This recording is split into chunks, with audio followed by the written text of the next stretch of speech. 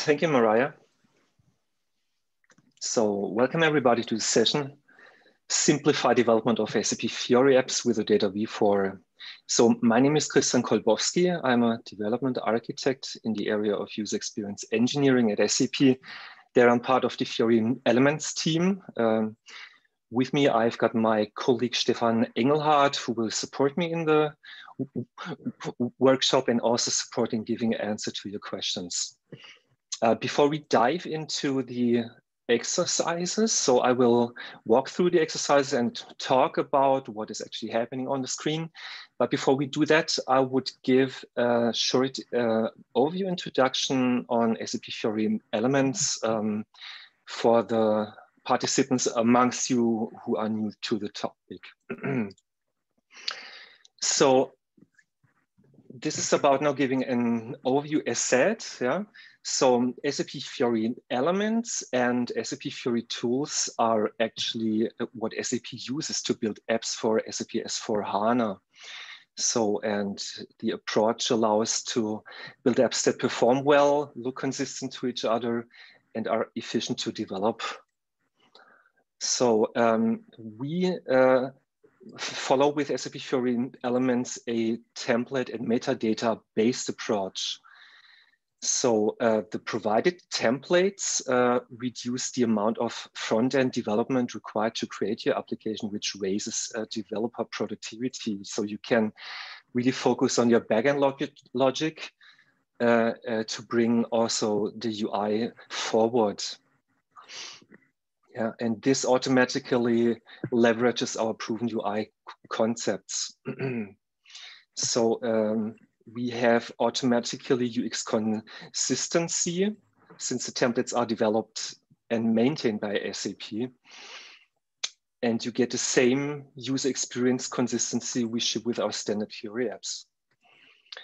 Um, with it comes that all the updates uh, we uh, we ship. So you'll get all the up, UI updates automatically, yeah, so that your Fiori apps also comply to the latest SAP Fiori standards. Um, we have enterprise readiness out of the box. Yeah, so we have enterprise grade features built in, yeah, and yeah, with it ensuring um, high quality and stable optimized UI code.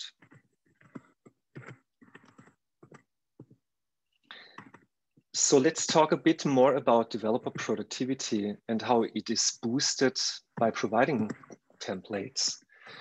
We call them page types. Most scenarios in the enterprise involve a variation of providing an overview on business relevant data and managing the data. The SAP Fiori Elements page types were developed to cover the majority of these use cases. We provide five distinct page types so we have the overview pages, which are used to provide an overview on the data for a certain business area or role. This um, overview page is usually the jump off point for a business process. The most common used uh, page type is the list report. So with list report pages, you can work with the large set of items in a list format uh, you can filter and sort on the results and drill down to an object page for more information. For list report, we have two variations. Uh, we have the analytical list page that adds analytics capabilities and the ability to add charts to illustrate your data. And we have the work list page that allows you process a list of tasks. So with SAP Fiori Elements, we provide UI logic out of the box as said. There's simple logic such as navigation between pages or between apps, or searching, sorting, and filtering capabilities in lists. But we also have more complex functionality, like, for example, editing, including draft management, which is um, the technology of choice for transactional behavior in the browser. Um, you see here also some of the enterprise readiness features that I mentioned before, which automatically come with each of the provided page types. So I mentioned um, the metadata-based approach. So OData allows you to annotate the service's metadata. And by adding these annotations, you define the semantics uh, describing exactly how the data is to be interpreted. For example, defining that a currency pro property uh, belongs to the amount to be shown on UI and also in edit mode uh, shown correspondingly. but we also uh, define with annotations the behavior of the UI. So the mentioned um, editing capabilities, but also things like whether a business, uh, uh, um, for example, actions that a user can can execute, and also giving hints about consumption. Yeah. So where on the UI can I click, to put it so. So SAP Fiori elements, starting off with OData v2 a couple of years ago, now also supports OData v4. So what is it all about? Um, so with OData v4, you get an ISO-approved OASIS standard and uh, you have the technology of choice for enterprise applications. SAP Fiori Elements leverages the advantages of OData v4 while keeping the patterns and layout stable and consistent with the latest SAP Fiori user experience. With SAP Fiori Elements floor plans for OData v4, uh, we currently support page types, list report, and object page. And we already provide initial support for the existing overview page. And we also support um, extensions with the ability to inject custom code. We call this uh, the flexible programming model. And you'll get um, you'll get more details on that uh, in the course of the exercises. way forward, we plan to deliver more and more support for OData v4 in a phased approach. So adding the remaining page types and also adding additional features in the flexible programming model. So primar primarily, I want to mention here the introduction of SAP Fiori Elements building blocks. So the very same building blocks our framework is using in order to, to um, template the UIs will be made available so that you can also include them in in uh, extensions and also leverage uh, all the um, semantic um, capabilities uh, that come with uh, these building blocks. Um, and of course, more OData v4 advantages are, for example, the built-in analytics capabilities. So we have dollar apply for aggregation, We can define your uh, transform or custom aggregates and things like deep expand, deep insert uh, are OData v4 only features to mention a couple of, of them. From a backend perspective, um, you can use the Cloud Application Programming Model, CAP, or Steampunk to build an OData v4 service. For the on-premise world, the support for creating OData v4 services with the RESTful application programming model is planned to be released soon. In order to decide whether you to use Fiori elements for OData v2 or v4, I will give you the opportunity to make yourself familiar with the solid feature set Fiori elements floor plans for OData v4 already provides in the course of the exercises.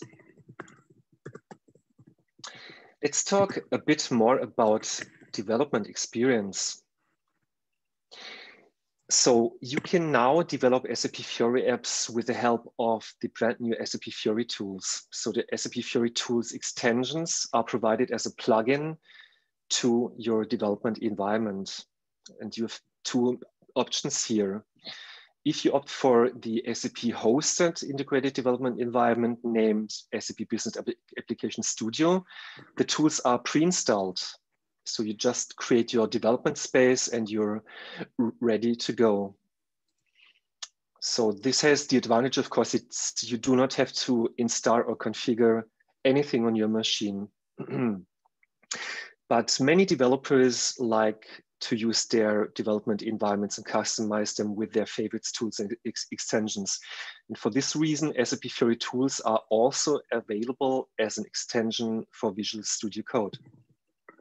And you get a very same experience. So to summarize this, um, I want you to remember three main themes yeah, from this presentation. So the first is SAP Fiori Elements and SAP Fiori tools greatly accelerate and simplify app development. Second, SAP Fiori Elements enforces UX consistency. So meaning every app you build using this framework will look and behave the same, which ultimately results in less user tra training, of course. And finally, we found at SAP that around 80% of apps we create can be implemented with SAP Fiori elements. So that was the overview part. Do we have any questions up to here? Yes, Christian.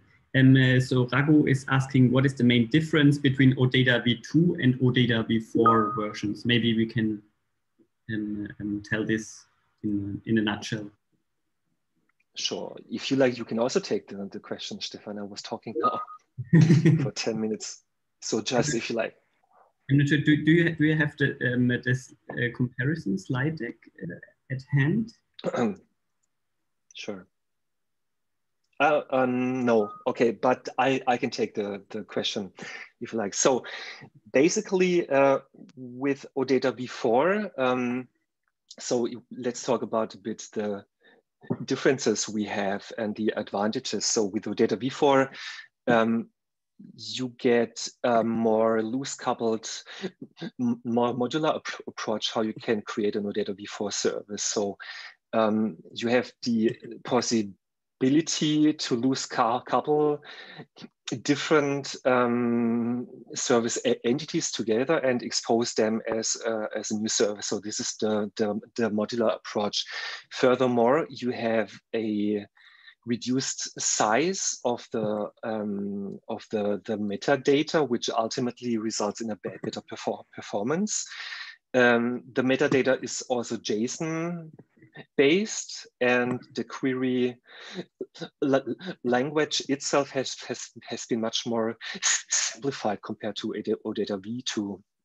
And as already said, uh, if you go for uh, analytics capabilities, before it was um, it was uh, rather a bigger effort to, to do so. Yeah. So now you with OData v4 you have a huge set of analytics capabilities which are built into the OData protocol itself, meaning that you can formulate an analytical query in the OData query and uh, gather the results to be shown, for example, in a chart on the UI. So um, these were some of the advantages. Um, as said, also if you're working with hierarchical documents, uh, like uh, for example, a sales order, you have usually header, item, schedule line. And before, uh, in order to do inserts on each of these levels, um, this was rather a complex um, query you need it with OData v2, with OData v4. As said, in the future, we will also provide this from the Fiori element side. You can uh, leverage the deep insert uh, capabilities we have, means providing a payload that reflects the hierarchy of a document and inserting it with a single call. So these are Stefan, if you yeah like to add some of the advantages or aspects. Um, no, I think you nicely explained it. So, um, so the next question um, is from Pedro. So, how do you see the overall lack of adoption and disinvestment in OData in the business world, not including SAP and Microsoft? Yeah, I mean, um, so so so GraphQL is of course um, one of the um, yeah um, of, of the protocols, which is very popular at the moment. I mean, as you can imagine, so there are already thousands of apps built. um, using OData, so you cannot easily um, um, um, change them. Also, frameworks got built, and I mean, OData has um, yeah, it, it has very similar benefits like compared to GraphQL. So yeah, I mean, let let's see how it will go. But of course, as you can imagine, when there when there are already um, um, investments into data, um, and so from a techn technology perspective, and many many apps are built with it. So yeah, this can of course not easily be um, and um, uh, to Attila's mm. question, so um, um, RAP supports OData v4. It, it already supports it on, um, on SAP Cloud Platform ABAP environment.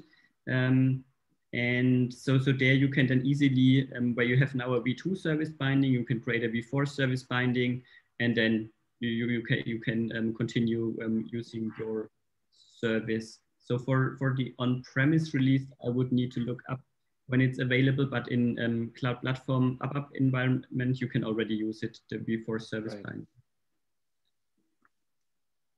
And then um, Melvin is asking, what is the recommended usage of the floor plans list report navigating to an object page? Um, yeah, so usually you have, um, um, or so, so in, in general, so Christian, maybe can you go back to your floor plans page? So, so mm-hmm. So, so in, in, in a perfect world, um, you have for your um, for your persona um, um an overview page which um, shows the most important information or the information uh, where you um, where, where, where you need to have a look at. So imagine you are a um, um, a purchase um, a, a, purchaser, and there you you want to see your contracts which are in running out or, or, or, products you need to reorder, things like this. You have everything at one place, um, which you need to monitor. And then from there, you can navigate to either here list pages um, um, or directly to object pages. Um, yeah, I mean, that, that's the and list report object page. Um, so this is um, the, the majority of the Fiori Elements apps, or in general, all the Fiori, also for the Fiori apps are, are leveraging this two floor plans, yeah. That you have a list of objects and you can go into the details. Right, so then right. you can continue. Great. So then let's continue. So if there are no further questions, um, I would start with uh, uh, with a workshop. So I want to have this as interactive as possible. So if you if you have questions, you can also speak up uh, you can use the chat, either Stefan picks it up or if I have a look, uh, then we can discuss uh, things to, together.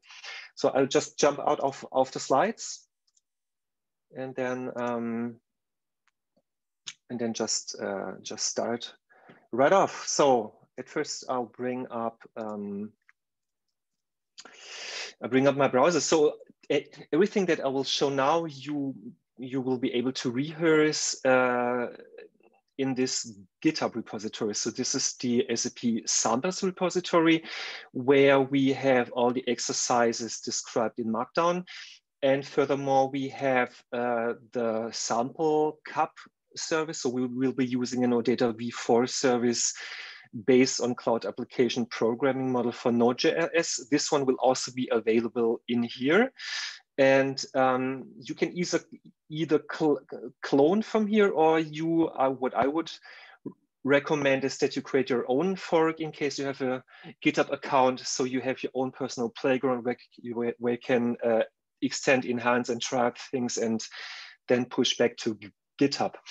So now let's start. So what I will be doing at first, so I would assume that most of you have a trial account, but if not, uh, I just give you a short glimpse uh, how you can get uh, such an account and from there also access the business application studio. That is the one that we will be using today.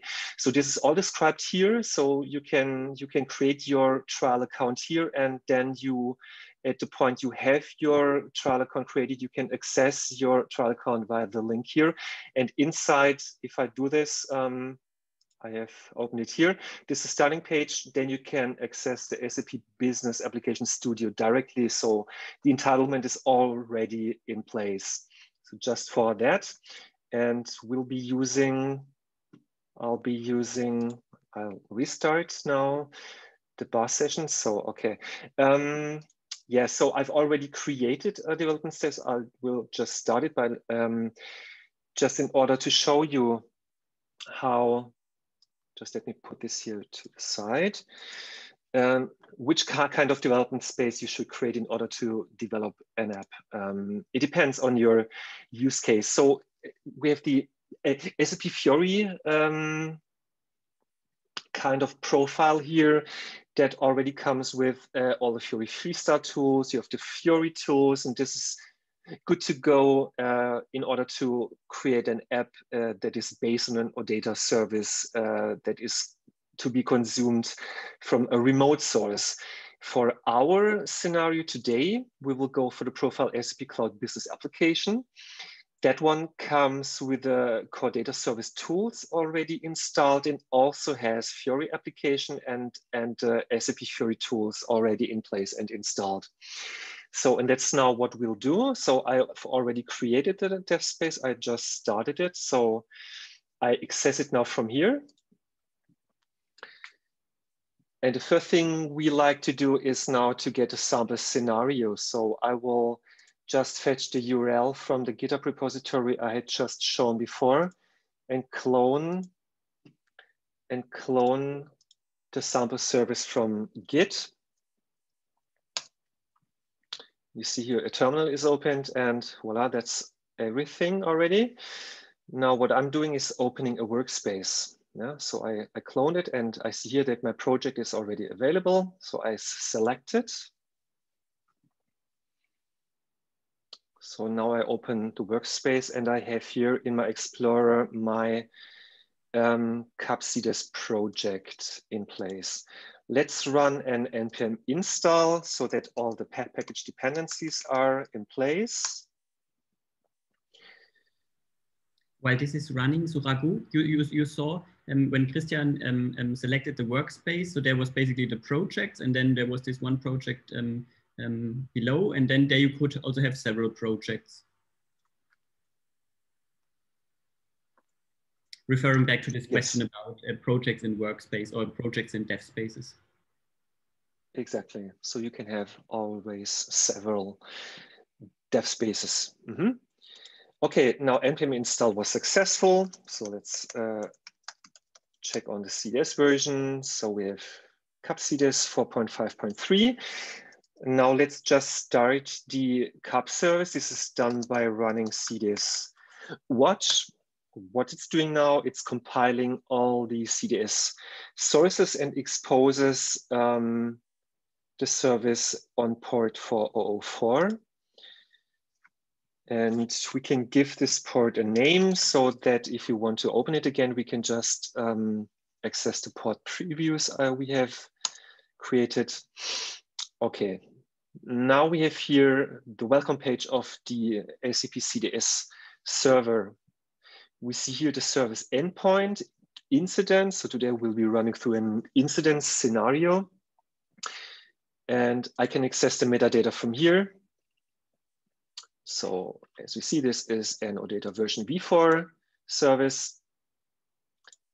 And if I open, for example, an entity, we see that there's also data in place. So now next thing we would do is to generate a Fiori Elements app on top of it. And for that, um, we will be using um, we will be using a Fiori tool. So this is the uh, Fiori app generator. You can access the app generator by uh, running a command. So we have here, if I filter for generator, we have here Fiori Open Application Generator. This starts the template wizard. Let's make this a bit bigger. And um, the first thing before I do that, just let me do something. I will um, I will create a branch of my repository so that uh, we can see what Fiori tools actually are doing um, when I add additional capabilities to my UI. So let's just restart the service again. So you see now here an effect. So this is a small bug. This is already in the making. Somebody the opened ports are not closed correctly, but this is already being addressed. You can just uh, open another port when restarting the service and then you're good to go. So now let's um, start right off with the Fiori app generator. So the first thing we like to choose is the page type. We go for list report object page. In this case, we have here all the pages available. Not all of them already support OData v4, but this is a unified um, template wizard. So you can basically start from here and create an OData v2 or OData v4 based Fiori Elements app. Let's go for list report object page. So the first thing we have to do is to select the data source. As said, this could be coming um, data source from an SAP system, some more data service. You can even consume um, service from the API Business Hub. The option that we go for is to use a local CAP Node.js project. And I've talked to the colleagues, the Fiori Tools colleagues, and they said uh, support for CAP Java is in the making. So what he wants now is that I choose my um, service folder path and he automatically recognizes the OData service that is uh, served in this in this uh, pro, pro project folder, which is incident service. Let's go for that one. So now, since we go for list report object page, we have to define a root entity that is to be used to show information on the starting page. For the main entity, we go for incidents. The navigation entity, entity will leave empty since on the object page, uh, we want to show single instances of the main entity uh, that we have selected on the list report. So now we just have to provide some additional project attributes. So the module name and the app title. And a namespace.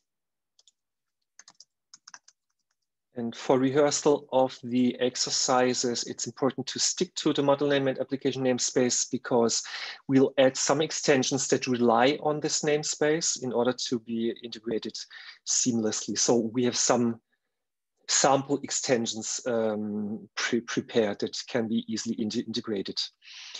Here we could also go and add deployment configuration or FLP configuration. We skip that for now.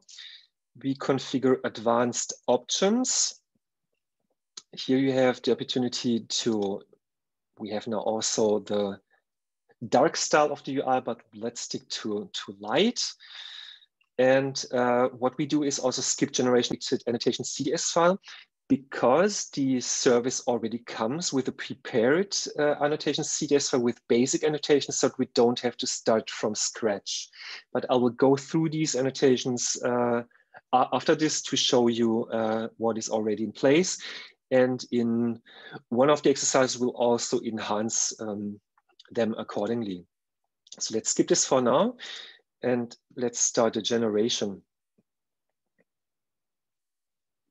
So we see now what happened here. So um, the CDS watch has recognized automatically that changes uh, have been applied to the um, to the whole project. And so everything was automatically recompiled. Um, let's see what had actually been done so far. For this, let's open the changes view. So we started with the package JSON. Um, can I open? I want to see this. So what, what happened is um, Ah, okay, okay. So we have here, okay, we have here a couple of uh, artifacts uh, that are uh, created in the app incidents folder. We go through them after this. At first, I want to show you the package JSON that had been available. So the things that App Generator has added here was a dependency to, to the UX spe specification. So this is actually needed by Fiori tools in order to access all the Fiori elements uh, typings in order to understand and, and parse, for example, the, the manifest and to, uh, to put things into the, the right place. And also a dependency to uh, the path where the app had been generated in. So uh, these are the, the, artifacts that have been added to. We have um, we have uh, in the app incidents folder, a package JSON, we have a component JS uh, created, which basically does an extension on our um, FE core app component, so the Fiori Elements core app component. Um, there is one sandbox index, index HTML that is used in order to get a preview uh, of the UI in the sandbox mode. And of course, there's the, the, the, manifest, which is the, the, the most important part of uh, the, the generated artifacts. And in here, if we scroll a bit down, um, we basically see two routes. So, which is for the list report and the object page. And we see here that um, there, everything is in place basically that is needed in order to do navigation from the list report to the object page. But now let's just just have a look at the at the UI that had been generated. So let's switch switch back to the preview. If I refresh here,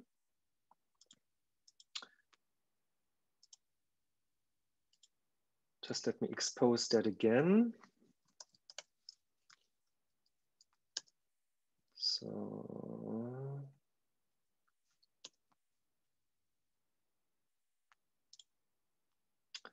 some hiccups. So let me just start this again. Is watch. So the mentioned hiccups. So let's now wait for it to pop up, expose and open. I think I closed it accidentally before. Let's name it now. Okay, now we're back in the game. So we see here now again the welcome page. And additionally, uh, the CAP service also serves the index HTML of the generated app. Let's now start it. You see we have a sandbox FLP and we have a list report and the list report already comes with some selection fields and a list. We have here a couple of columns defined, which is great. I can um, use the filters on top already in order to drill down into the data. And I can go to the object page where basically we have uh, some information shown in the header, the content area, and a table below. We'll go through the annotations that were provided already uh, that define this uh, UI. I will just also show you the transactional behavior that also is already in place. So I can switch here to edit mode. This automatically creates a draft. And if I switch here some values in the lower right corner, you will see that the draft is automatically saved. So, which basically makes sure that my work is not lost if my browser session is gone. So we see here now also there's a draft indicator in place. We could also create a new draft instance. So if I if I go completely new, let's uh, try this too, give it an identifier. Just to give you an idea. So and then I can also create this draft and I have an object created, which is also now, if I go back and refresh, I have here my newly created draft available. So let's now have a look at the already existing annotations um, that mark responsible for the layout of the UI that we already see. So in the app folder that was already in place, we have one file that's called annotation CDS. And that one basically has a basic set of annotations uh, that are used. So we are for the table definition on the list report, we have this line item annotation collection, which is a collection of data fields.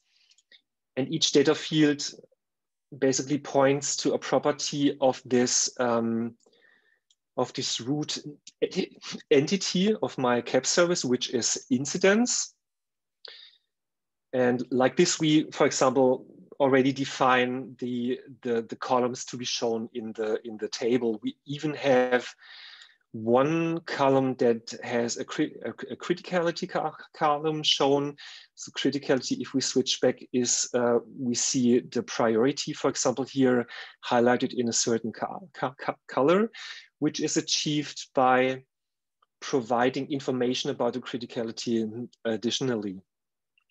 We also have seen that there are also selection fields in place so selection fields come into this by defining in the same annotation of the service incident, simply some of these codes yeah, in this selection field collection. In this case, we are using a specialty of CAP. Um, so usually we need a value list annotation to be defined, but in case of a managed association, which means I have an association for my root uh, entity incidents to, let me just show, show you that to my um, entity's priority category and sta status. We automatically get um, we automatically get a denormalized representation of these um, associated entities by having these additional pro properties now in the root entity and CAP additionally auto-generates the value list annotation. So that is the reason why we get um, the value list for, for free in this example. We could also go and say we create a value list annotation manually which would then mm, basically give more freedom. So we can also see the value list annotation in the metadata. If I search, for example, for category code, and then skip a bit down, then we see here this annotation. So this is the annotation of my property category code of my root entity incidents and we use this property for a selection field and it comes with a value list annotation already in place. And the value list annotation in this case is uh, fixed, uh, is of type fixed, which means that you basically get this um, drop down and in the drop down all the, the values are being sh shown and the values are retrieved um, from the um, from a collection path. In this example, the collection path is the other entity category. So if we select the category entity, we see that this is the one that basically provides the values for the value list. So these were selection field and the line item annotation. On the object page, we have some basic information shown too. We have this um, header section shown that shows an icon and three, pro three properties. This one is defined by simply giving, um, by simply defining this header facet annotation, as you call it. So we're still in the annotation block of my root entity incidents. And my header facet annotation points to a so-called field group. A field group is a collection of data fields. We see that header general information field group defined below. And basically, again, here we have basically just have two data fields which point to properties of my root entity, which are title and description in this case. And these are the ones that uh, just um, no, I here, yeah, okay, I, I mixed up. So header general information field group defines priority code, incident status code, and category code, which are the ones that we see here. So if we select another one, then we see they're properly filled. The same goes for the content section. So let's quickly go through this so that we see what we already have. We have other um, field groups defined. So we have this general information field group. And then for the content part of the object page, there is this facets collection. Facets is the umbrella of all the um, sections that we show in this area of the object page. And basically it's again the same schema. Here we call we make a collection of two reference facets that again point to a certain field group and the field group defines a set of fields. So that is the way how you can group and and define information to be shown on the object page. Below this um, section here we have another table that shows data from another entity this is um, process flow information so if we let me just close this here. If we skip back, so we have here another, another entity that's called incident flow, which holds additional information. And we have an association from our root entity incidents to that table. Um, and basically we can then just go and define another reference facet that then points not to a field group, but just points to another line item annotation definition via following the association path. So which is in this case, incident flow. So the name of the navigation property. And then at the target of this navigation property, we refer to the line item uh, annotation in there and the definition of that one we can see below. So here we have another uh, annotation. We uh, annotate basically the target entity incident flow and in there define again a couple of data field and data sets. So that, that is the starting point. Um, what we'll do now is to enhance the UI a, a bit. So for that, um, the first thing we like to do is um, let's do something something cool. So we will switch to the flexible column layout at first. And for that, we will be using, let's just close all, all of this. We'll be using another Fiori tool, which is called the page map. Um, and in order to um, see what is happening, let me just uh, open another terminal. I always like to show you what the tools are doing.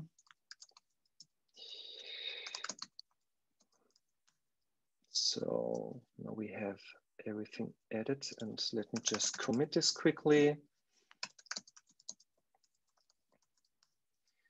So, and then just, um, okay, uh, okay. Unfortunately, it's not allowing this. Okay, but then I'm at least in the stage changes. Okay, now let's just use another Fiori tool. So I was talking about the page map. You can access the page map by clicking right on the app folder and then just clicking show page map. And this will bring up uh, the tool. And uh, the, the layout of the page is basically you see all your pages defined and the, the navigation between them. Each of the tiles here show the leading entity you are using. And uh, to the, the right side, so we'll dive into that afterwards. To the right side, there is a global page settings section where we can now define the flexible column layout. And before I explain what it is, I will just do it. So I will select a layout for two columns and the way it should expand and also a layout when we have three columns and how it should be expanded. And I just apply that. Let's switch back to this view here. Um, we see that it automatically recompiles. Now let's have a look what happened. Now let's at first have a look how it looks actually. I just refresh the browser. So, and if I select now one item in the list, instead of navigating to the detail page, I get a split view. So this eases the navigation between items. Yeah, so I can easily skip uh, through these. And I get additionally these nice um, enter full, full screen button, which allows me to just focus on a single selected item here. I can also uh, skip back to the split view and I can also close the view. So that is basically the flexible column layout. And let's just quickly look what Fiori page Fiori tools have applied. So for that, I open the ma ma manifest so that we can see the changes that Fury tools have automatically applied. So they will apply to the manifest of, of the app. So we have an additional dependency that is required for the routing that is um, performed by the flexible column layout. And of course, the routing itself had been enhanced additionally. We have now in each of the route targets a collection, which basically groups the pages that are to be shown uh, in the flexible column layout view. So for the um, for the object page, yeah, or for the, the list report is, of course, I see only my list report. But if I now match the root of the object page, then additionally to the object page, I want to see the instance uh, list. Yeah, just defined like this. And um, there is also what we said, um, how the split should happen. So this is done by applying this begin and mid column pages like this. We we define what portion of the screen each of the each of the pages should take. So this is basically the things that were added by uh, the the page map. Um, yeah, that was um, column layout. Now let's dive into some additional features the page map provides. Uh, let's just stage this here so that we always can see the changes that are applied. Now let's do some additional configurations. Um, I said that we have the opportunity here to, uh, to go into these. So here we have a small pencil icon. So at first we like to we like to configure a bit uh, the list report. So and the very first thing I like to do is you might have seen is um, you might have seen that um, every time I enter the app, I have to press the go button in order to get the data selected. In order to uh, do this automized, um, I have here in the page uh, editor incidence list on the table view, the opportunity, the option to switch initial load to true.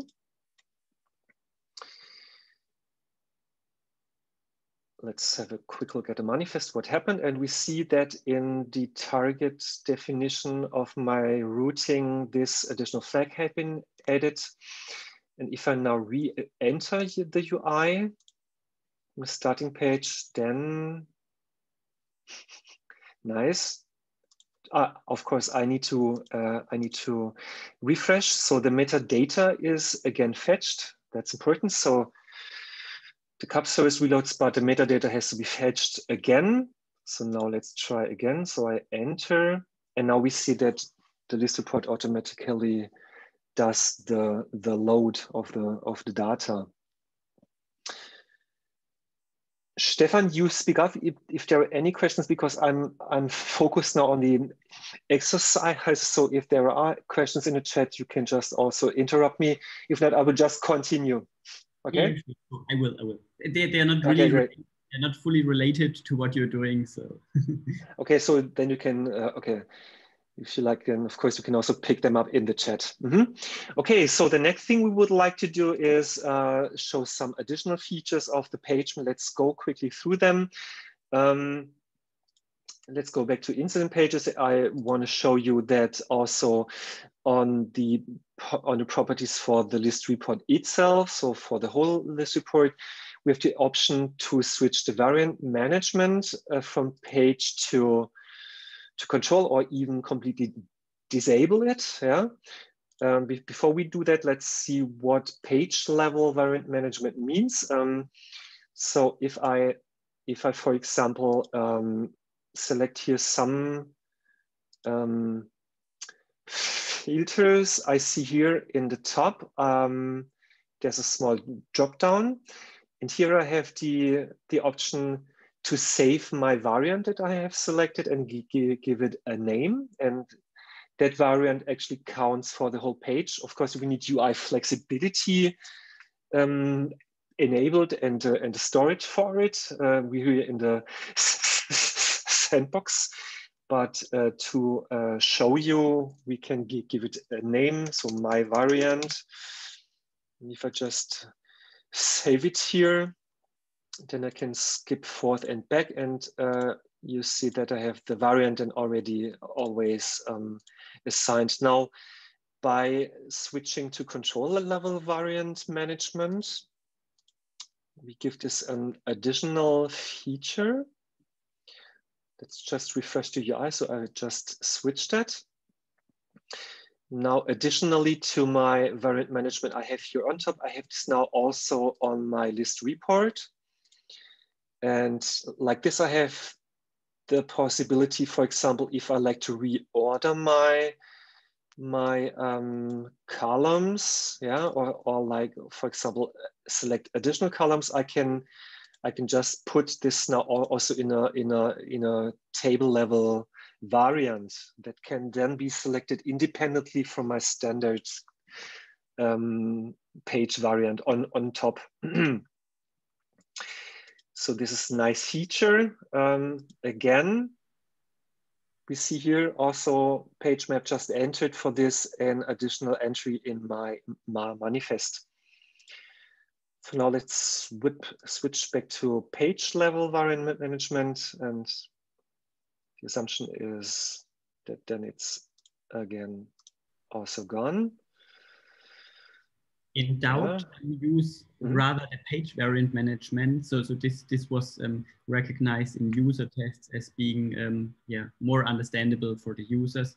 There, there can of course be um, advanced cases where you have where this um, um, control uh, level variant management has um, uh, can maybe for power users also for for complex cases also be interesting. Mm -hmm. But for the normal cases, the page variant management is probably the better one.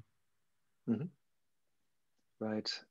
Thank you, Stefan. Um, okay, so let's go to the next one. So uh, this is something that makes editing on the object page a bit more beautiful. Um, if I, let's maybe expand the full screen. If I enter edit mode on the object page um, in the default mode, as you can see, if we do it, the header fields get um, get also editable, and this is something you might want to switch off because these fields are also shown in the section below. So you basically do not want to have priority and category shown in this header section and additionally to be editable here below. So we can switch that off by going to the page map ag again. And then um, in this case, we have to go to the object page. And there, um, then on the header part, we have a property that's called editable header content. And let's just switch it to false. Wait for the recompile. Refresh to fetch the updated metadata and manifest. And if I switch now to edit mode, basically we see that the edit that the header stays as is, so it stays uh, display only, uh, which is uh, in some cases maybe more beautiful. Yeah.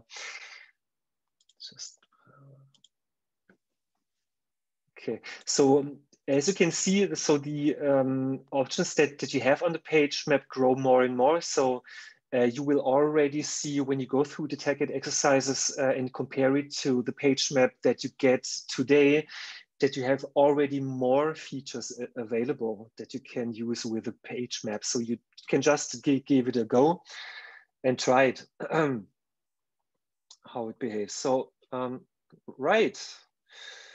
Um, yeah, so much for the page map I want to show. The next thing I want to show you is basically we will also use the page map for that, but uh, primarily this is now the mentioned flexible programming model. So we will do now some enhancements to, um, to the UI.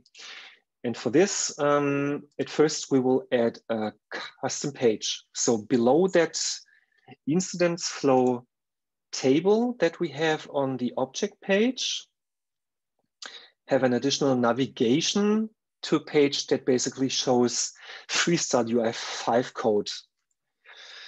So let's let's do that. Um, for that purpose, I have prepared some stuff.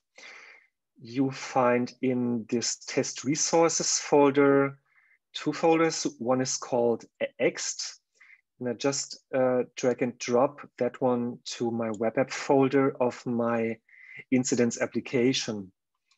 So let's go quickly in this X folder. Basically, we have here a folder that's called view, fragment and controller for adding now this uh, custom page We'll be adding a process flow uh, control, um, view and uh, corresponding con controller, which are defined in here.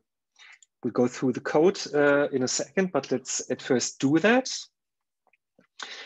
And um, adding a custom page is really easy by using the, the page map. So um, the only thing you have to do is um, on the, um, the hierarchy level of your application, you like to add an additional navigation.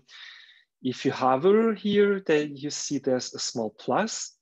And if I click that one, you get um, you get this uh, add page dialog offered.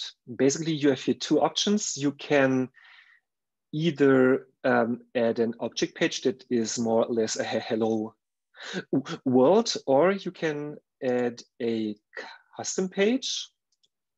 So the object page would be something that you could then again fill with uh, annotations. So in order to leverage the data you have in your data model, or you can add a custom page that basically comes with its own view and controller and has automatically the context binding of the application so that you can also display the data of the underlying, underlying service.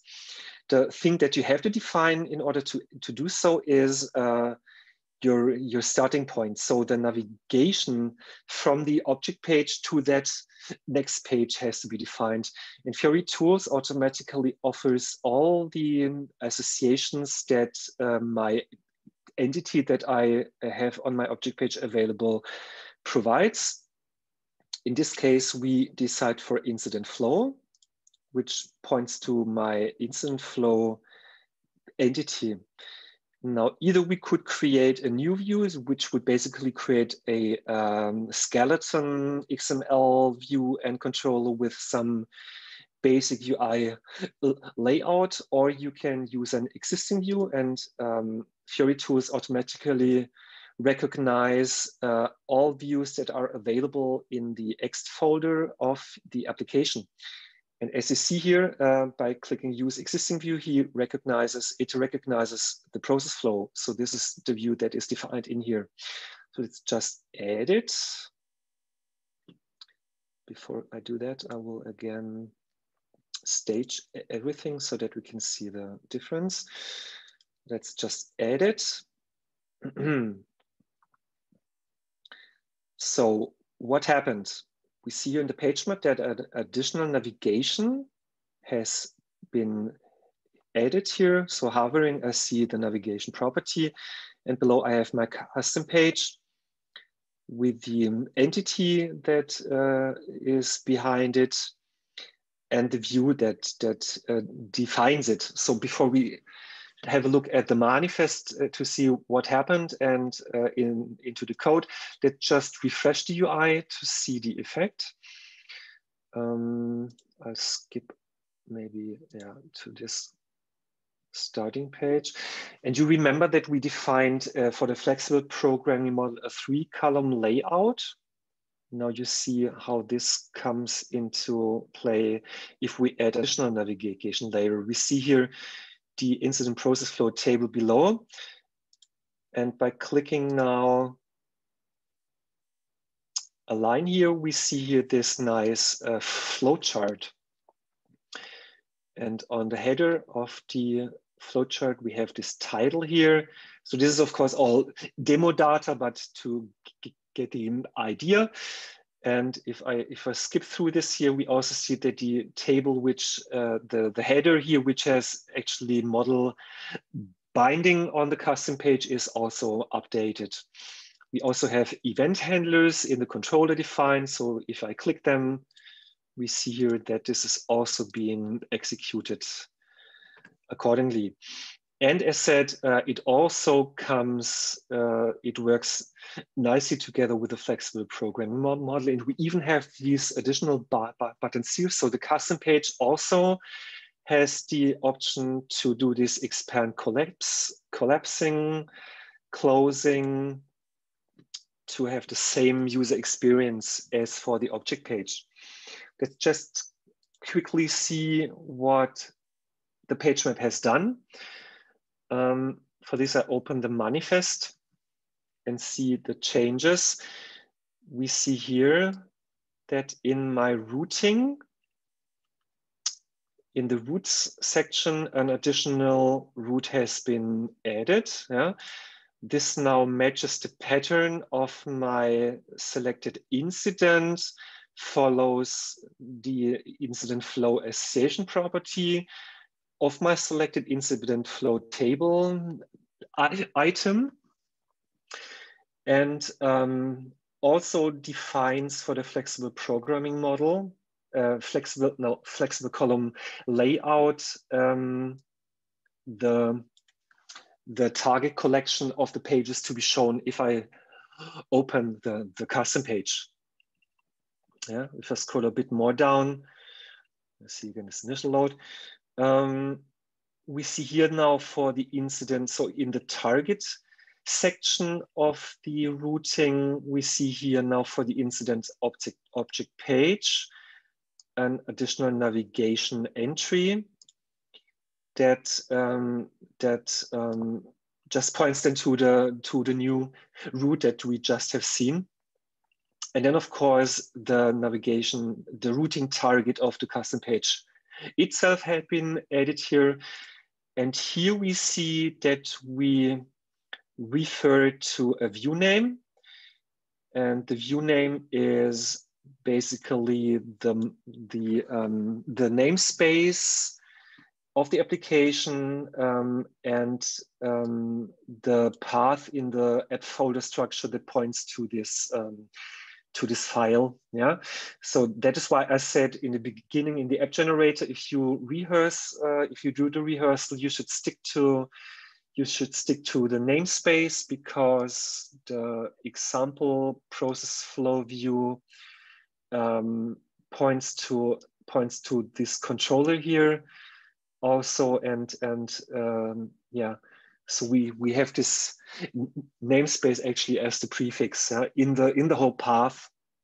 Yeah, and here we see the view actually. So this is basically an an XML view um, that then just defines um, at first the, the controller asset. We can have a look at that also in a second. Um, we have here this process flow control defined. And uh, the process flow, in this case, you could, could make usage of the OData model, but for this sample, we are using a JSON model, which is a named model. Um, we give we have given it the name process flow model. We see that in the controller in the sec and provide the data inside here. But we also see that the page title asset um, just refers refers to a property of the OData model that is exposed and that is also available as as the as the context to this to this page provided by Fiori Elements automatic, automatically. Um, we also have some speciality here, so this is also something that has to be applied. I mentioned um, these expand collapse buttons on the custom page. So this has to be added to the to the custom page view itself in order to make this uh, work appropriately. For this, I have this um, dynamic page title, heading, and navigation actions defined. The navigation actions, as we see here, basically define these three bar buttons, uh, um, insert full screen, exit full screen, and also close. And has the according the according routing routing listener press handler that is defined in the controller. So the controller for this process flow custom page is here. You see it's not a lot of code. Um, we have here this routing listener imported there's a small remark, experimental usage, because officially it's not yet in the documentation and there might be some changes to the name. So you can use it, but you might want to observe the official documentation of uh, the SAP Fiori element controller extensions, whether it's called routing or routing listener in the future. That is why it is marked as experimental here, but still it is already available. And basically, um, we give here this routing listener that is also then being used in, in the view in order to react on the click handle for the expand collapse bar buttons that we've seen. And the, the rest of the code is uh, basically instantiating this um, local JSON process flow lanes and nodes model and just attach it um, attach it then to the view in order to show the information. Right, so that was uh, adding the custom page to the to, to the app. So Let's not stop here. Let's show another feature of the flexible programming model. Um, we've now seen how we can add um, a custom page. The next thing I'd like to show you is how you can add a custom section so custom section means that uh, if we have a look again at the object page, we have seen in the in the beginning that we have this header, the content part, and all this annotation driven information that is being shown. What we will add now is a section in this area here that is custom, so that also um, uses uh, that also allows injection of uh, freestyle UI5 code, but also leverages the OData model of the of the Fiori Elements app uh, and the CAP service at the same time. For that, we will again use the page map. So we like the page map for doing so. And uh, we said we want to add this custom section at the object page. And before we do that, we again stage the changes. So we have here the option to click this um, little edit button. Here we can again influence all the properties, but let's just focus on the sections part here. So if I hover here, I get a small plus. And um, right, so custom section, right. Let me, yeah. So the thing that we do here, we provide a stable ID. So we want to have an ID that defines the custom section that is stable. This is something that we will add now. So this is actually not in the exercise, but it has been added new. So um, let's call it, for example, um, my custom section.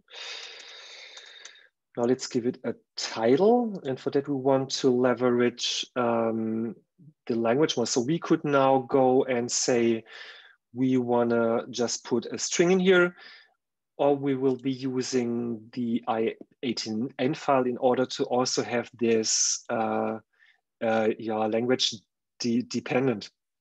For that at first, before I continue, I open the i18n file and just add another entry here. Um,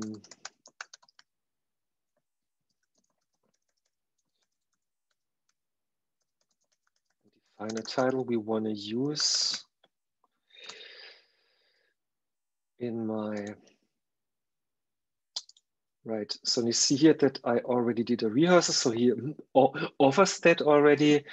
So I um, put here in curly brackets by um, putting the named language model as a prefix. I just define the, the key to the title. And um, right, so the next thing I do is um, I um, choose my frag fragment. And um, I have already also prepared, as I did for the custom page, I have prepared a small XML fragment that is to be used for the custom section that we find in here.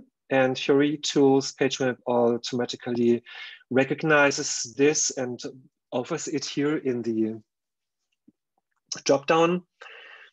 So this is already pre-selected. Um, next thing, I have to define uh, the position in the object page where my custom save section is to be placed. Um, for that, I say I want to have this after my overview facet. So this is basically the content section that I have below my header and say the position of the new section has to be after it. Let's just press add. And we already see here in the page map that an additional section has been added accordingly, uh, which has also the remark that it is a custom section. Uh, it is also placed between the two, and we will see in the manifest that it is actually so. We have here also uh, the option to navigate directly to the source code. So if I click here, then immediately my fragment is being shown. But before we dive into that, uh, let's just refresh the UI to see the effect.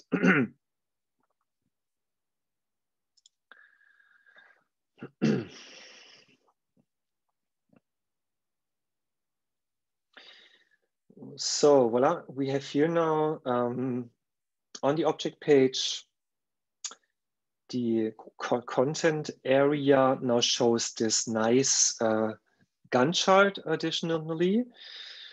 And we also see that it is depending on the lead selection that I do in the list report, we I get other information shown.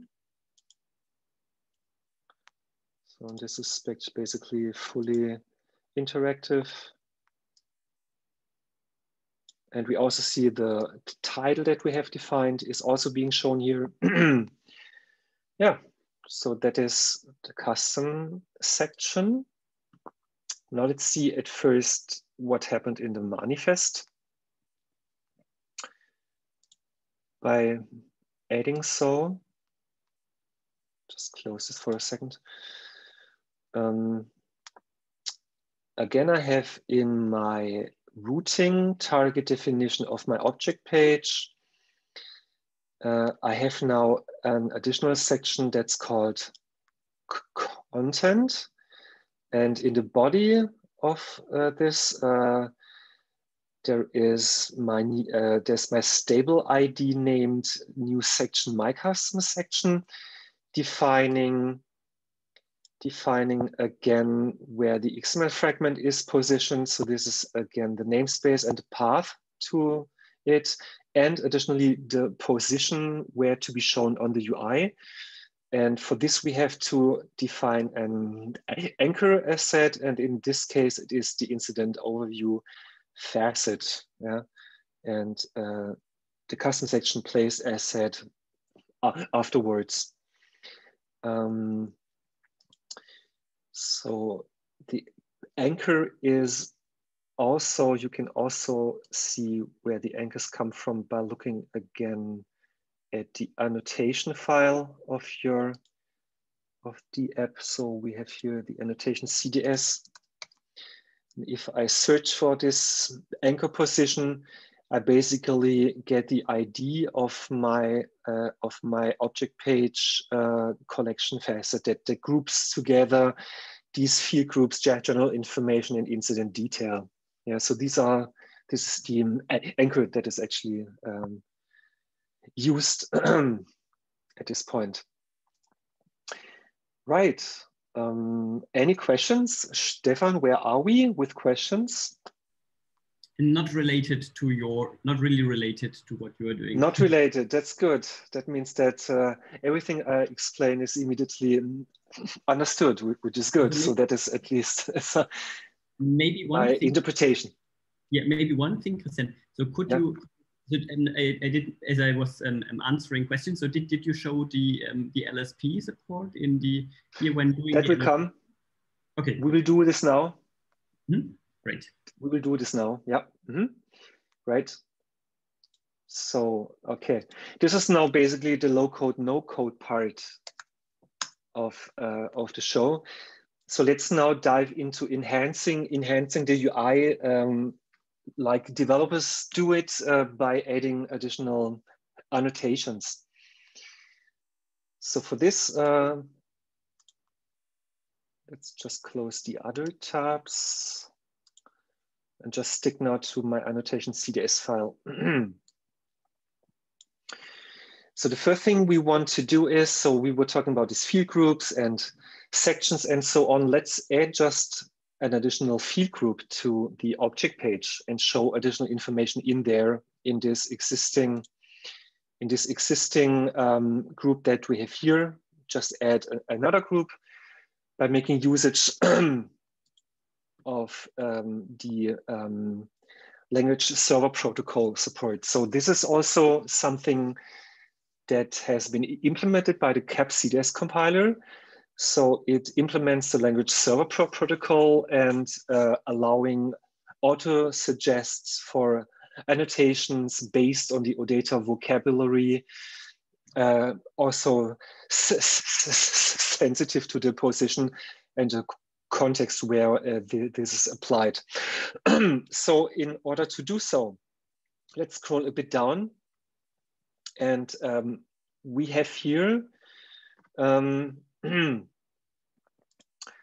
okay, let's enhance, um, I said we will enhance here, but let's just enhance the header section because here we have some additional space to be filled. So let's just enhance the header facet section. We have here this header facet collection. And what we want to do is, uh, is to define an additional field group in here. For, for this, I have the possibility to trigger now um, the LSP support. So I just press control space. And if I, um, no, and then just um, say, I want to have a, um, I want to have a reference facet. Just, just at first, let's define the field group. Um, just let me see.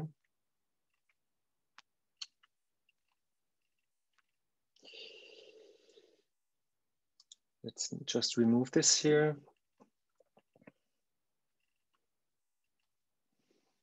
so at first, let's define a field group.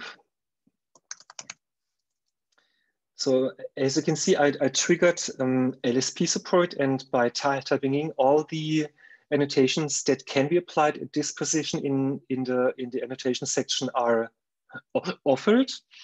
And if I select now field group, um, what I get is uh, is the is a skeleton of the information, yeah, of of the of the annotation uh, that uh, that now can be um, that now can be completed.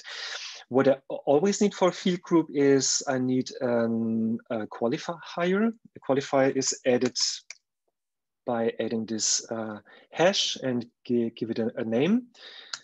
Now I press tab and get right into the field group. And now if I trigger again the LSP support, now I get all the annotations that can be applied in here. In this case, I wanna have a um, collection of data to be shown. We see here these nice brackets. The cursor is immediately placed inside. And inside the data collection, I now can go for data field or other options we also have. Yeah, we stick now to data field. And the cursor is now automatically placed behind the, the value property. I trigger again uh, the um, LSP support. And now I get as auto suggest uh, all the properties of my current entity that I am annotating. Now let's just add uh, the created add pro property. Yeah. Let's just define another data field behind that and do the very same by saying created by. Right, so now we have this field group defined, which basically defines these two properties. And now let's add this um, let's add this now to the to the to the header facet. Yeah. Um, let's add it to the the reference facet. So let's just scroll down. The header facet we will use uh, afterwards. We will add a contact card. This newly defined field group we can now add to the existing reference facets that we have here. For this, I scroll down to the facets collection of my object page. And again, inside here, so after the last one, I just trigger again LSP support and just say, um, give me a record reference facet. This is then automatically added here. And to again, he even offers me all the field groups that I have. Yeah, so if I just now go for the one, so I, I just defined the field group admin and by selecting it and saving, the job is already done. So let's go now back to the object page and just refresh. So we have now here general information and incident details. And if I refresh now, then we see there's another section. So I forgot to give it a, a title. So we can do that, of course. Um, so we um, give the reference facet a, a title. Accordingly, let's just um, trigger again. So the the label pro property and um, we could now go again for um, I18N, for example.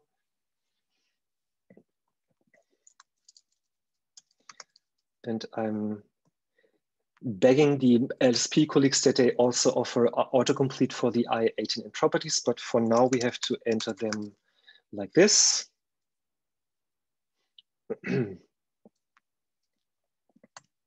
right? And just edit again to the I18N properties file.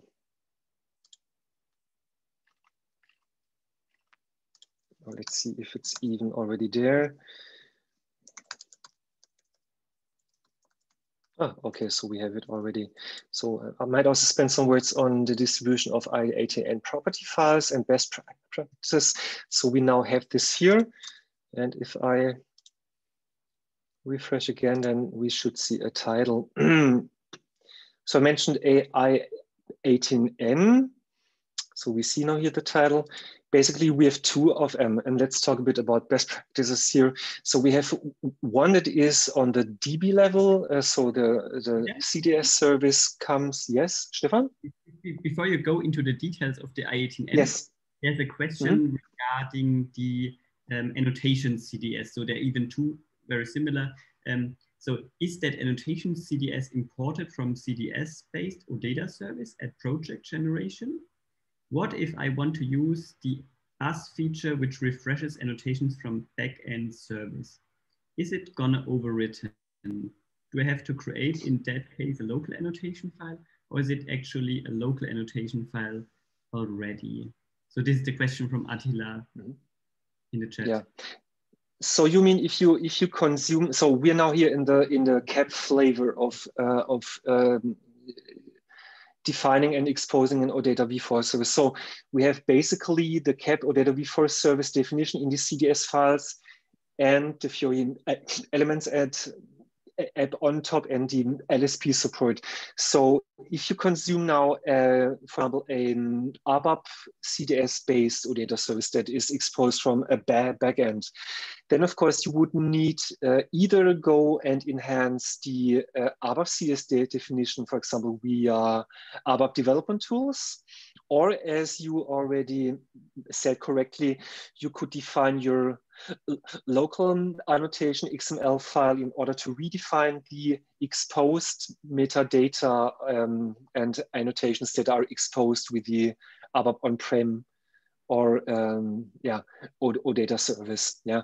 So in this example, uh, we have it all bundled together, at least for development, for deployment. We will have, we have usually separate instances here, um, but, but here we define annotation CDS, which is basically an isomorphic representation of the OData v4 annotation vocabulary. Uh, basically, the CDS compiler compiles it into an EDMX. Yeah, so the EDMX is the thing that is exposed then as metadata, as we can see. Um, as we can see here, if I if I if I click here, then you get all the CDS annotations uh, compiled into EDMX shown. And uh, for the for the CAP programming model, we recommend to always stick to to the CDS-based annotation modeling. Um, of course, you still can you still could uh, add in your XML-based annotations, register them in a ma manifest, uh, and then redefine it. Yeah, as you would do it if you make a remote consumption of an OData service that is deployed in some ABAP on-prem or S4HANA system. Does that answer the question? Let's see what Attila tells, but yes, so it, it, it, at least it sounded like. There was also another question. So um, mm -hmm. do we need to have to create a local, uh, local annotation file um, for additional changes like the changes now. But I think that also goes in this direction so that you have this annotation CDS here and you just put them um, in, inside there. So, and it goes also in this best practice direction, yeah. Exactly, yeah. Mm -hmm. Right. Yeah, so Attila says. Okay, okay. Thank you for the questions, yeah. Um, I can also quickly bring up. So um, in order to see what I mean when I say um, CAPCDS is using an isomorphic representation of the OData vo vocabulary. So for example, if we if we have a look here, or the the, the way you can define annotations in CAPCDS really reflects the way um, how the OData UI vocabulary is defined. So if I pull over for a second, um, the OData vocabulary UI definition. So this is basically on github.com the definition of the whole UI vocabulary. If I dive now, for example, into um, line item, so the thing that we have seen before, then we see here that this is of a, of a collection. So we see these brackets, a collection of data field abstract, and you can just navigate into that and see the data field abstract collection can be a collection of data field for annotation or data field. And you can really see if you're not sure at what place you can um, add your annotations, have a look at the OData vocabulary. That is basically also what the LSP annotation support does.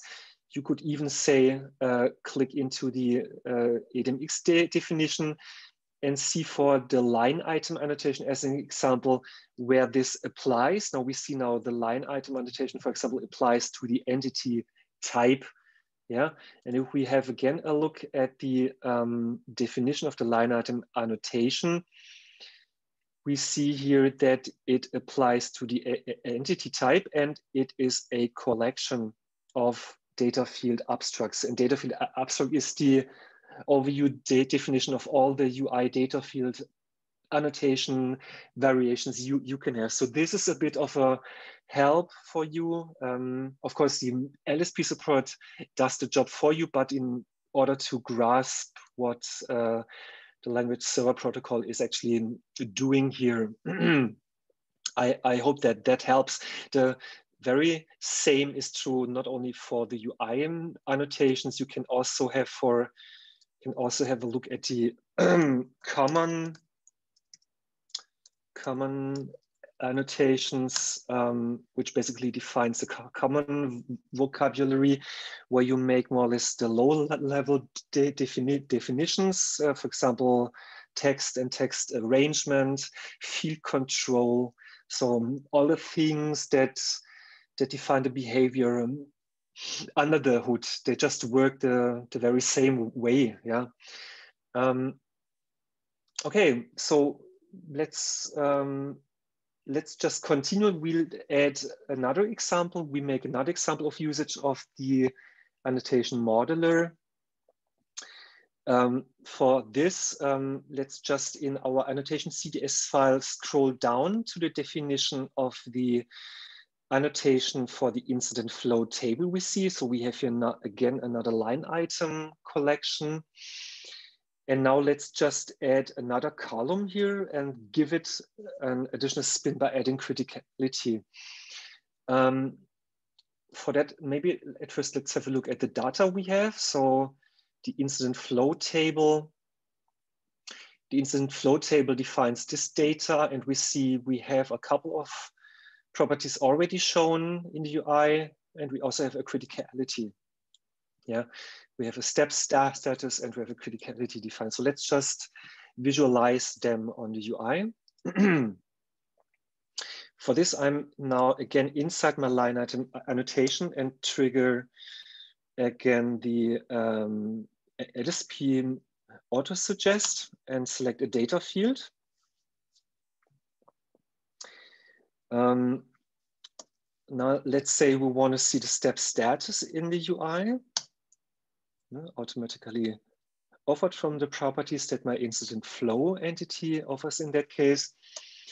And now additionally, as an additional property for my data field annotation, I want to add a criticality property. And that one points now to another property of my entity. So either you can, you could hard code it here. So you see here all the, um, all the options that criticality might take are, are offered hard coded or you define a path. So in that case, we choose our criticality property, which provides the information, yeah, depending on the selection we, we have, on the context we have and um,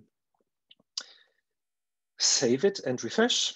and then just go again to our uh, object page and refresh. if I scroll down now, we see here now this additional column and we see the criticality based on the data we have in place. If you would now have a look at the UI vocabulary, you would also say that the criticality de definition, um, we could quickly do that. Yeah.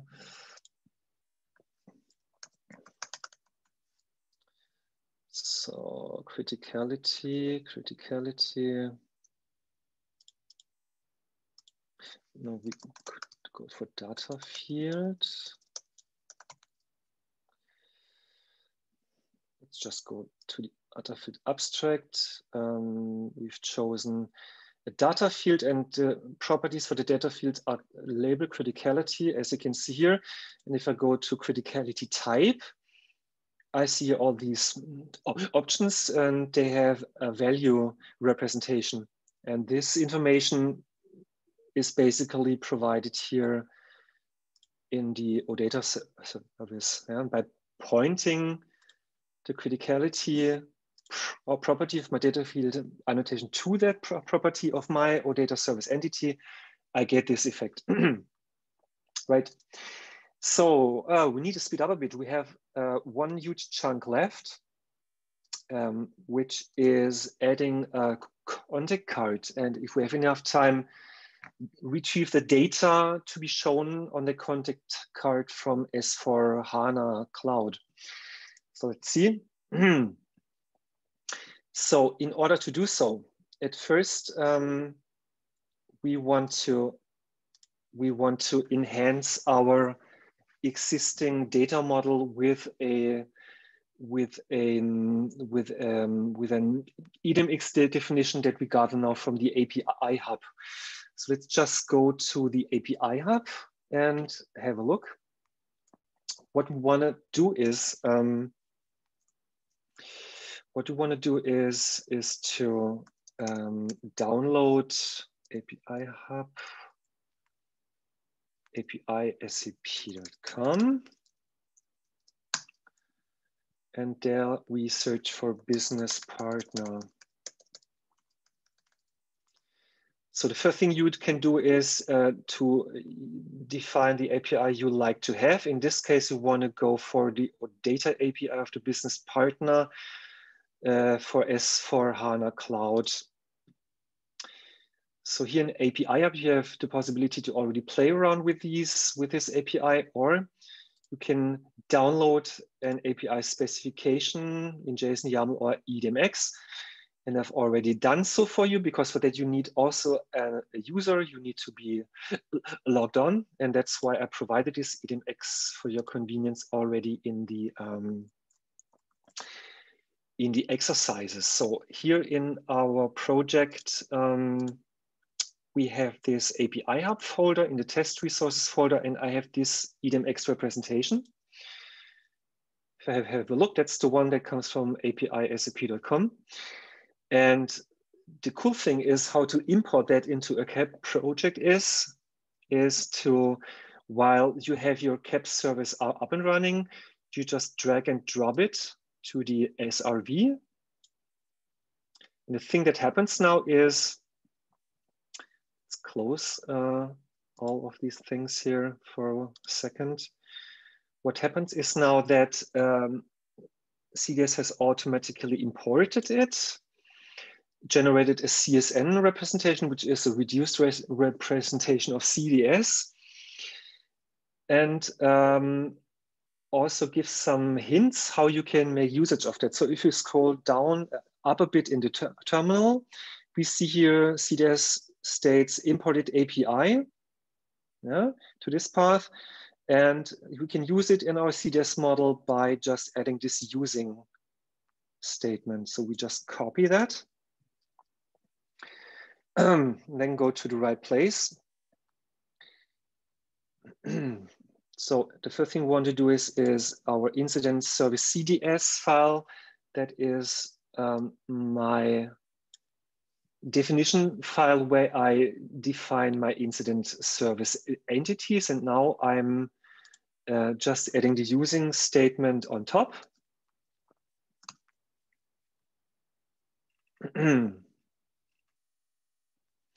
And then additionally, I'm doing this now copy paste because we need to speed up. I want to I want to expose additional entities from this um, from this um, API with my OData service. And for for that, I just add two additional projections. We see here we have now a new definition entity business partner, which is a projection on this external API definition. And we basically only take uh, the, the key and the name. And we have a second one, which goes to business partner address. And here we get uh, the keys business partner address ID and a couple of additional properties that we like to visualize in the object page header in a contact card. So, but at first, let's just uh, save that for now. And um, of course, if we have now a new definition of data, we need, of course, also mock data. Yeah. So the whole CAP programming model in a sandbox variant is in this case based on uh, CSV files, which are deployed to an SQLite instance. And we have this defined here. So we have here all the CSV files. And for this new, these new entities, uh, we like to, we like also to see additional da data. And for that, I have also prepared in the data section of the test resource file, two additional files, which basically just define a couple of uh, information, so a key and a name. So this is now mock data, which you will use for development. I hope I didn't do something stupid. Error, unable to move data into data. Obviously, he recognized I was doing something wrong, which is good. Okay, now what I will do is I just select the two of them and drop them into my data folder of my service definition. What should now happen automatically is that um, CDS watch has again seen that some changes had happened. And we see here that the CSV data has already been filled into our um, service. Can I move this somewhere else? This annoys me. Okay. Maybe this one too. No. Okay, now let's see what, what happened. Let's go back to the starting page of my exposed service and refresh. So what we see now here is that we basically have now two service endpoints. Um, we have the one from my incidents, and we have the API business partner one. I could click it now. And for example, the business partner and see that my CSV data is automatically filled into the properties that are available. Since we only provided business partner and the name for this example, we see only the two of them and the rest is shown as null in this case. We have additionally exposed to additional projections in to our incident service business partner business partner address where we have defined a subset of the available pro properties. So if I click now here on business partner address, I just see um, the properties that that come that that come with the projection. so far, so good. Now let's continue. Speed up a bit. Um, Right. So the next thing is uh, we want to make a relation between our existing entities to the new entities. We know that on the object page, we show information from our incident service. What we want to have now is make a relation between that incident service and uh, the new business partner uh, entities. In order to do so, we enhance um, a bit our schema definition of our existing incident entity. I have here the schema DBS CDS file where I scroll down to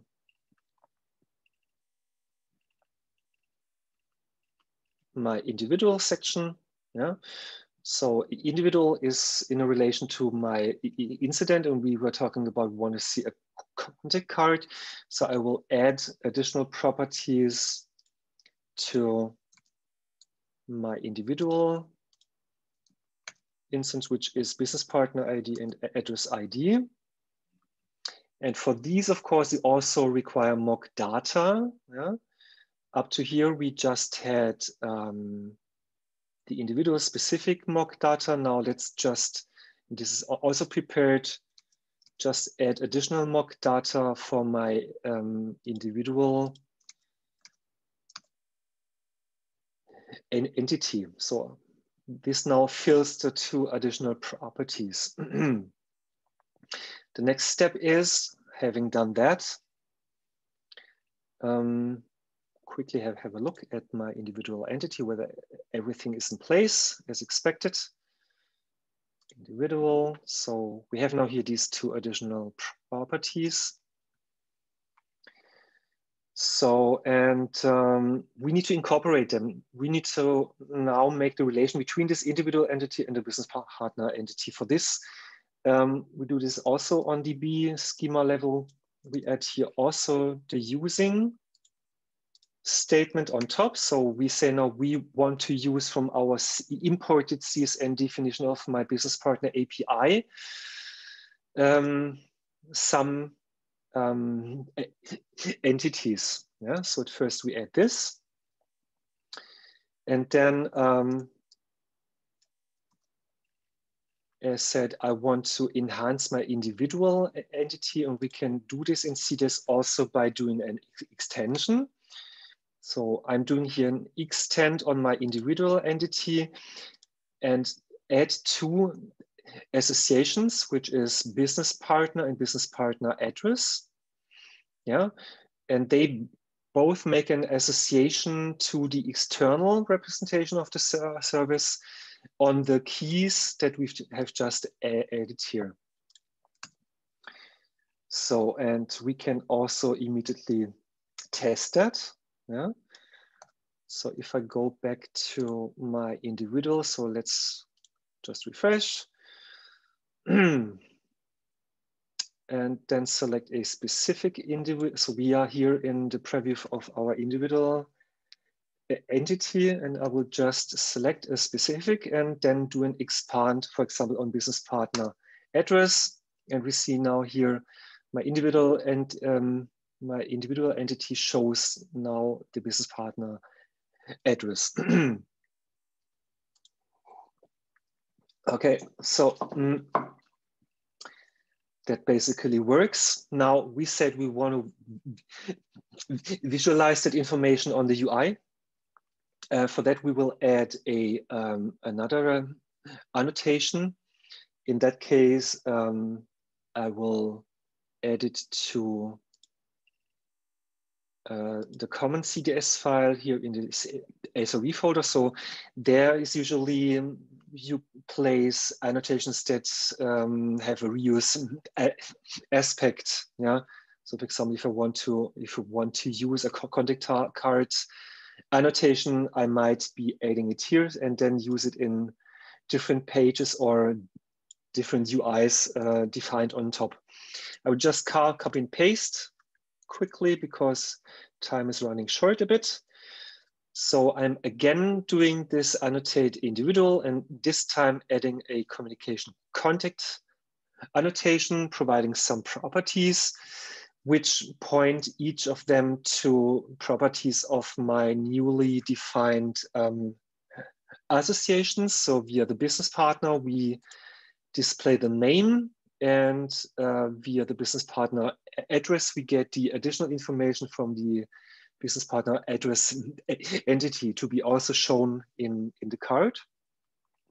So this is not a contact card annotation.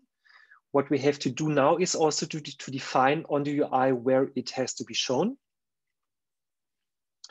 For that, I go back to my annotation CDS file. Maybe let's close some of the other tabs to make it a bit more, a bit better. Here's again now my top level annotation CDS file inside my app. And I go to the header facet. We said we want to see the contact card in the header section of my UI. Uh, we have this one facet already shown. And I just add here another reference facet. Let's quickly do that. Reference facet and uh, as a target, we say in this case, we follow the association because we know it's not defined in the entity, but we have to retrieve it via the association. And then you see LSP also offers me the information here. What is missing is the, we can give it a, a, a label, of course.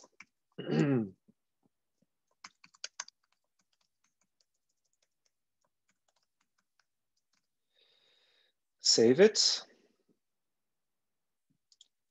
And then refresh.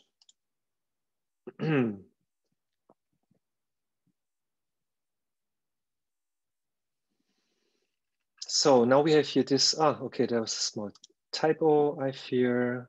Yeah, the brackets have to be closed.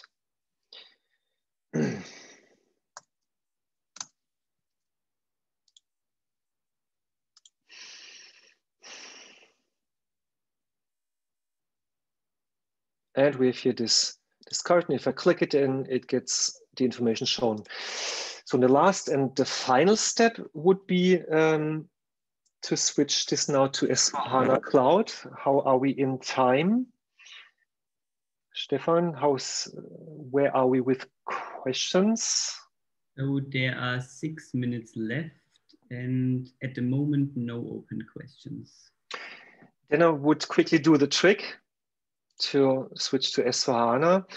Um, I have a detailed explanation in the exercise. What are the prerequisites? So you have to, you have in order to be able to consume the business partner of an S4HANA cloud system, um, you need to have inbound communication arrangement uh, in your S4HANA tenant in place.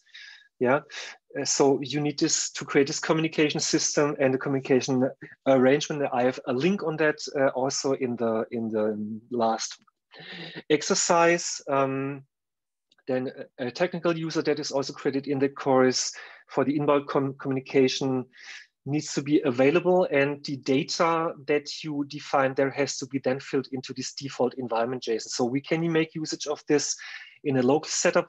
This would be the environment variables that are um, assigned to the, uh, to the running service that is deployed in the cloud. Uh, but we can also make usage of this here and uh, the technical user and its pa password and also the endpoint of your OData API would just have to be added in here. What I will do now is uh, we'll just drag and drop a, a definition um, so we can make usage of that without hopefully showing you the credentials. So, okay, that worked. And um, the last thing is I also in CAP CDS, I have to enable that. So in the package JSON of the, of the service de definition in the CDS requires section, I enable my additional API business partner model by removing um, the credentials here. And the last thing I have to do is, since we, and I wish I had more time, this is a bit short now. What I also have to do is I have to add some custom query handlers because the external calls that go to uh, S4HANA Cloud, um, they have to be catched because now we switch from the mock mode now to a real mode where we really fetch the data from S4HANA Cloud. And for that, in the incident service JS handler that is also in the test resources folder, we have these additional handlers here defined. So here we see this uh, CDS connect to the API business partner definition that is defined in the package JSON. And then on the read of the business partner and business partner address, we basically call um, the external service handler and pass the transaction on. And there's also some additional logic required because we do uh, we do in this scenario calls from our internal v4 um, entities and do an expand on the business partner and business partner address entity. And for that, there is an additional handler defined here, which is a bit experimental. um, because we all we still um, CAP still has to provide full support for for Draftear. So this is basically the recommendation to make usage of this now for display only, but to see to show that this basically works. I just replace my uh, custom query code I have defined in here with the one that is enriched. It has these additional definitions and then hopefully if I refresh to UI, this Erika Musterfrau should disappear and real S4HANA data should be shown or it fails. This is of course Murphy's Law now. Let's just check. Business partner. Maybe we have bad luck and the thing is not available. This can be. Um, in a dry run, of course, it, it worked. you can also check the Open SAP course from CAP in the session four. This is again explained in detail. So my colleague David Kunz has shown how this S4 integration into CAP can be done if you need more information details and also the query capabilities that uh, uh, that the uh, cloud application programming model has with regards to uh, S4HANA cl cloud integration, you might find additional resources there. Okay, so the last step didn't work, but 98% uh, up to here were successful. I'm ha happy and I hope uh, you you you got a lot of information, a lot of valuable information. I encourage you to fork the repository. So I bring it up again um, so that you can um, that you can just uh, also have it a go for yourself. Yeah. So this is the repository with all the things that I've shown to can be rehearsed from you. okay, that would be it from my side. So we have a minute left for, for questions. And I wonder where my Zoom window is, is because I don't okay. see the positive feedback. Uh, oh yeah, we love, of course, feedback. Yeah. So if you have any feedback, either via the SAP community channels or directly, I don't know whether you're allowed to speak up. So I thought you could also speak up in this session, but it was of course okay also to do to do it via chat. So thanks, Christian yeah. and uh, Stephen, as smoothly. Um, so it was really great session and then wonderful tips and tricks, and then what is uh, possible with the all the standard templates and everything. It was really great. Thank you very much. Thank you for the feedback. Can this hmm. window be copied or once you're gonna send us link for this the chat. You should have. Yeah. Mm, yeah, I, I, I, can do so. You have the you should have the link also in the SAP community event. Um, uh, just let me chat. The recording itself will be available in the SAP community page and mm -hmm. a YouTube page in about two days. Um, I can resend that link in the chat as well. Yes, okay. Uh, just, uh, was so focused on my session, I'm searching for the chat. Ah, there it is. Okay, so here's the link to the repository. So I recommend to do a fork asset. Then you can just push pull if you have own github.com account, then you just have, have, have, have it in there and then just can play around and uh, have fun, hopefully. All right, everyone, it looks like we're just about a minute over. So thanks everyone for participating and thank you so much, Christian and Stefan for presenting on this topic. You're welcome all together and have a nice day and evening. Bye-bye.